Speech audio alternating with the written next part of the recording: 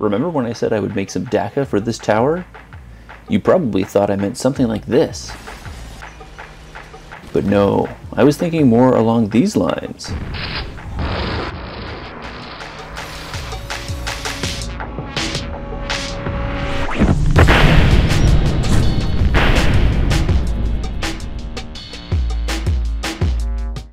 I had quite the collection of bits assembled from the tower build, and I decided to go with a big custom shock weapon.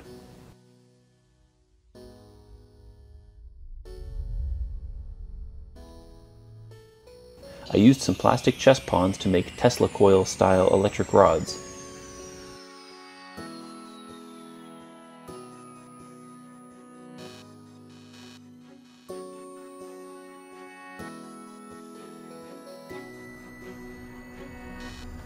You haven't seen the original tower build yet, I will leave a card on the screen for that.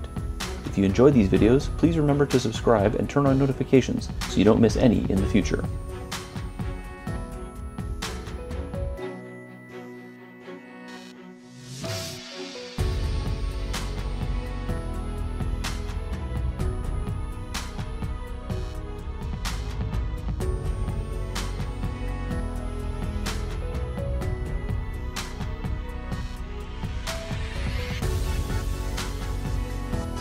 I used a combination of electric cable, hair elastics, and steel wire to make a masked bundle of cables wrapped around the barrel.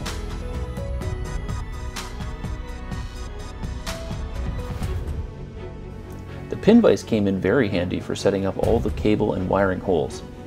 I've got some links in the description for this hand drill as well as my other common supplies. Purchasing through these links helps to support the channel.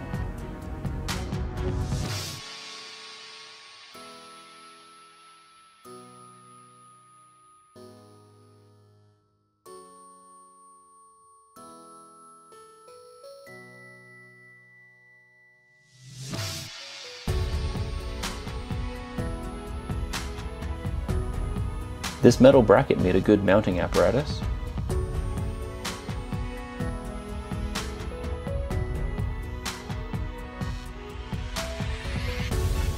The inside of an old pair of headphones had surprisingly good detail, so that was used to make the back of the weapon.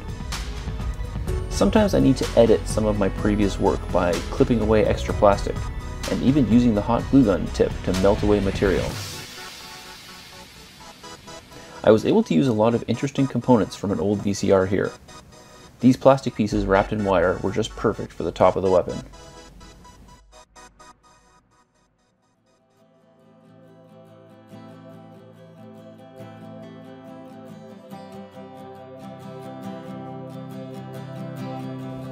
I used the air hose to quickly set up the hot glue.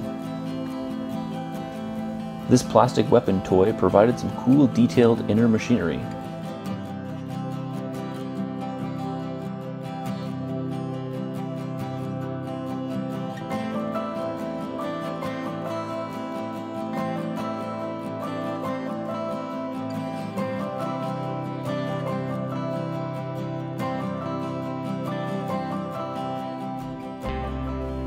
made a control panel with this model car interior. Then I made a little chair.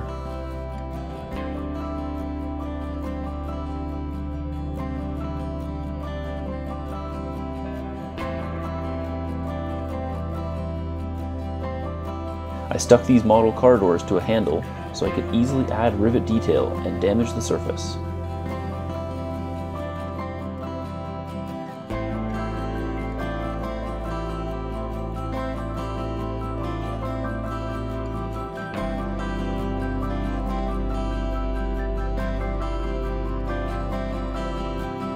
More panels were made from board game cardstock and foam sheets.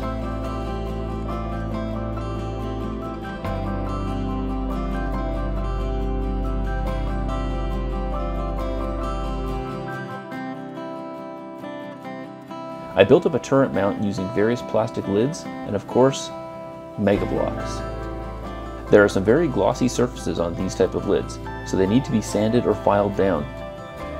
This also contributes to later weathering, so two birds, one stone. Using the classic Scratch Bash Mega Bloks metal panel and some non-oats cardstock, I built up the boxy armor at the base of the turret.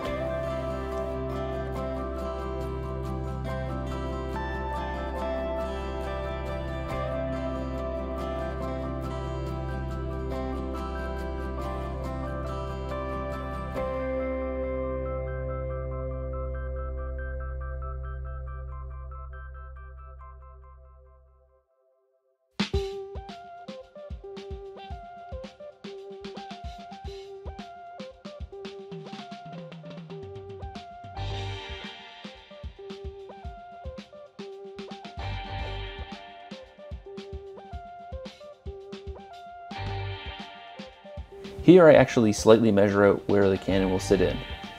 There's a first for everything.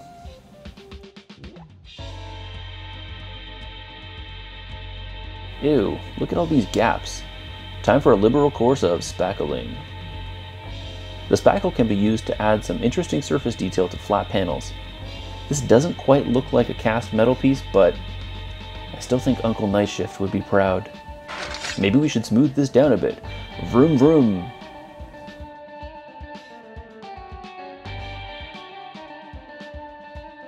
More sunken rivet holes set up using my trusty pin vise drill.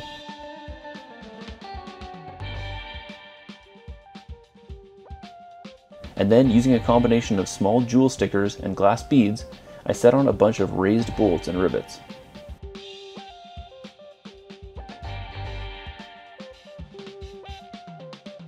Then I add in this small stepladder using steel wire.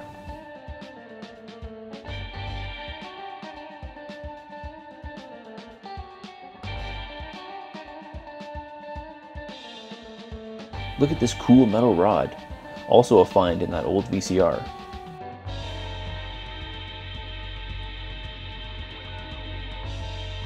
Okay, time to prime white, and then brown.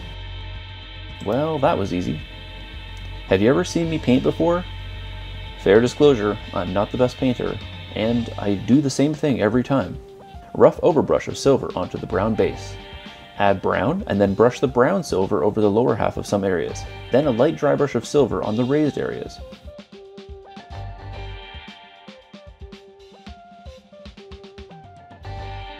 Maybe I will make a big batch of custom wash. Nope, maybe just enough for this project, but I will use a very big bottle.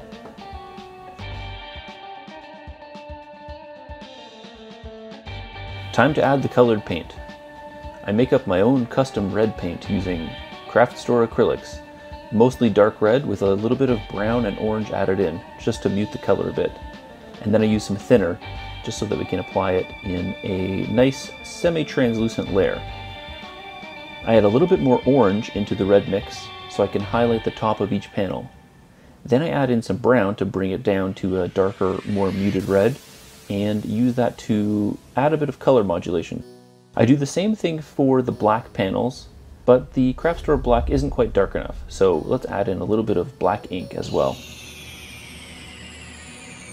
Then I make an off-white and paint up some details in the same fashion, working up not quite to the edge to keep that exposed metal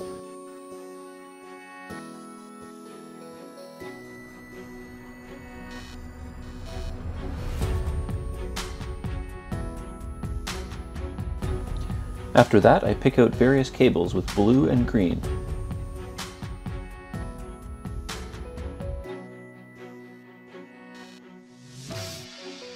I make a dark brown wash to cover the lower half of the white details and also add a general layer of aging.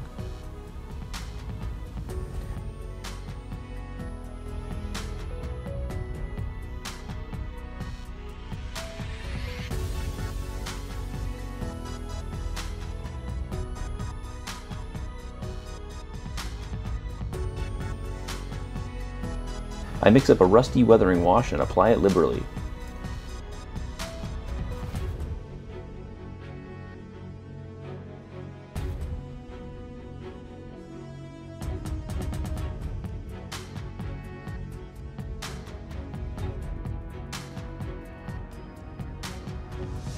And zip zap, the Shokk cannon is done.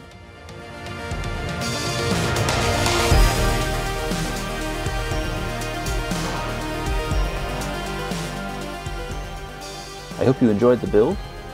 Please leave me a comment and share this video.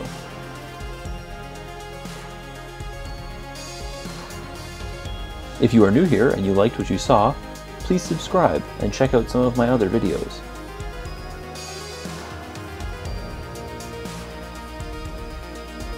Remember to turn on notifications and I will see you in my next epic build video.